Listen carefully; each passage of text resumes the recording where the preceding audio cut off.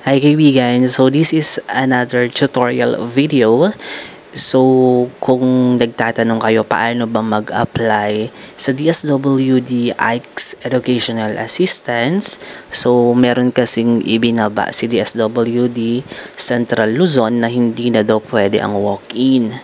So narito ang paraan kung paano tayo tayong mga estudyante at mga magulang makakapag-apply through online. So may binabase lang uh, post nga. So kung makikita ninyo, andyan yung Aurora, Bataan, Bulacan, Nueva Ecija, Pampanga, Tarlac, Sambales. So yan kasi yung bumubuo sa Central Luzon. So syempre dahil from Nueva Ecija tayo, ang i-click natin na link ay ayang Nueva Ecija. So ida-direct kayo into this website. So, try ninyong basahin yung uh, nasa first page na yan. So, DSWD Nueva Ecija IX Educational Assistance Online Application Form. Okay? So, meron siyang paalala, babala, at paunawa. And then, i-click nyo lang after ninyo mabasa yung susunod. At mapupunta kayo dito sa second page So, kailangan natin itong sagutan ng buong katapatan. Ayun eh. Ayan. So, ang unang question, ikaw ba o ang iyong sambahayan or household ay membro ng Pantawid Pamilyang Pilipino Program or 4Ps? So, be honest in this question. So, click nyo yung hindi kung hindi. And, susunod. Yan. Sa third page, ganun pa din, may question dyan na answerable by oo or hindi. Ang question, ang estudyanteng inilalapit ba ay nakakatanggap ng scholarship mula sa kahit anong organisasyon. It's either government or private. So, wala naman. So, ang i-click natin ay hindi. So, mag assume tayo ano, na uh, nag apply tayo o may ina-apply. So, ito naman ay tutorial lang. So, ayan, susunod uh, eto, dito natin malalaman kung anong sirkumstansya ba na kwakwa o napapasama ang aplikante. So, kung ikaw ba ay nabibilang sa mga sumusunod, so maaari ninyong o maaari kayong pumili. So, the more the merrier. So, kung andyan kayo sa breadwinner, click nyo yung breadwinner na box or working student. Kung ulila kayo, solo parent, ang mga magulang ay walang trabaho, ang mga magulang ay OFW na nawalan ng trabaho. So, click nyo lang yan may kapansanan, anak na ng dating rebelde, person living with HIV, or ayan, kung lahat kayo yan. So, click ninyo yan. And, i-click, kung kulang pa kayo, click nyo na rin yung iba pa. Okay? And then, saka ninyo i-click itong susunod. Okay, so ito naman, uh, tatanungin o kinakailangan na ibigay ninyo kung saan kayong municipality or city nakatira. So kung kayo ay from Cabanatuan, click nyo yung Cabanatuan City. So andyan yung mga iba't ibang uh, cities and municipalities here in Nueva Ecija. So kung from General Tino or other uh, cities and municipalities, andyan naman yan. And syempre yung iyong barangay. So, lagay natin Barangay Makatbong. Itong kategorya ng aplikante. So, kung ikaw ay estudyante na gumagawa nitong online form, ang i-click mo ay estudyante. Pero kung ikaw ay ang magulang na nag apply so ang i-click mo itong magulang. So, kung ikaw naman ay guardian dahil wala ang magulang ng ina-apply mong aplikante, ang i-click mo ay guardian. So, itry natin itong uh, magulang. Okay. Ayan. So, magulang ang i-click natin. Saka natin. Ayan. Next. Susunod. Okay. So, ito may uh, personal uh, details ang kinakailangan mo dito. So, iyong apelido. So, lagay natin parahas uh, given name or your first name, Jeremias, lagay natin. So, make sure ano na tama yung mga spelling na ilalagay ninyo. Yung gitnang pangalan or your middle name. So, pag sinabing middle, na- middle name, hindi lang middle initial lang ilalagay ninyo ah. So, buo.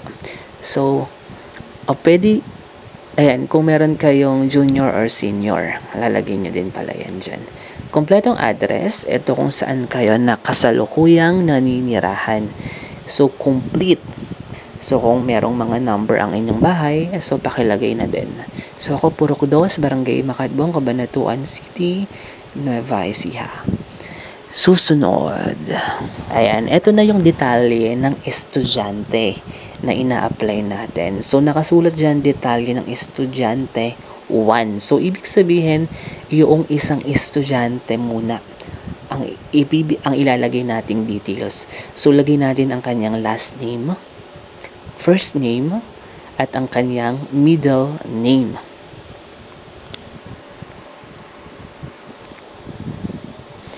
So, kakailangan, kakailanganan din yung level ng estudyante kung nasa elementary level ba siya, junior high school, senior high school, vocational, or college. So, i-click mo lang yan. And then, etong part na do, kung saan nag-aaral yung bata. So, ilagay natin yung buong pangalan ng eskwelahan at kung saan ang address ng eskwelahan na pinapasukan ng bata.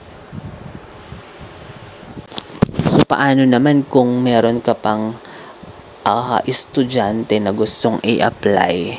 So, meron ka pa kasing isa at dalawang, isang anak, okay? So, meron dyan tanong, maiba ka pa bang estudyante, kaanak na i-apply? So, kung meron pa, click mo lang yung meron, pero kung wala na, dahil hindi naman na nag-aaral yung isa mong anak, so click mo lang yung wala. So, click natin yung meron. And, click natin itong susunod. Ayan. So, merong pagkakataon na ito yung lalabas. So, click nyo lang yung subukan ulit.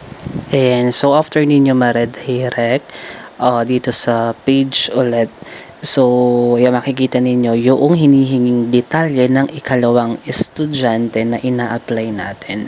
So, same with the previous page uh, ilalagay lang ninyo yung uh, last name, first name, and the middle name of the student. Ayan. At ganun din kanina, yung level, grade level ng estudyante at kung saan ang eskwelahan at ang buong address ng mismong school na pinapasukan ng estudyante.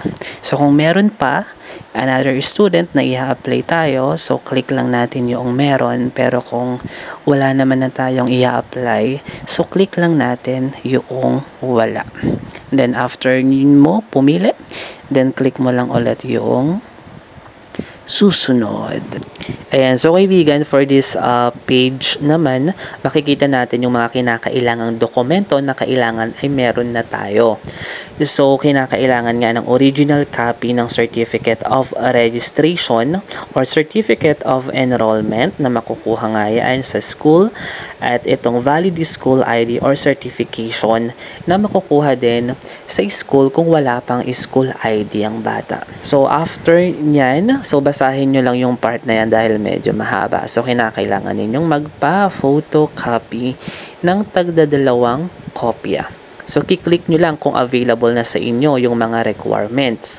So, kung meron na kayong certificate of registration, school ID, or kung kayo ay guardian, so kinakailangan ng pagpapatunay at ng valid ID. So, kung okay na, click nyo lang yung susunod. At dito nga sa last part na to, ilagay ang tamang contact number dahil dito nila kayo kukontakin para malaman ang status ng inyong application at kung kailan ang schedule ninyo at kung kailan kayo pupunta sa kanilang tanggapan for payout. So, wag magkakamali. So, pwede nyo din ilagay ang inyong email address kung meron kayo. So, malinaw ba? Then, wag nyo kakalimutan, click submit. Thank you kaibigan. God bless everyone. Bye!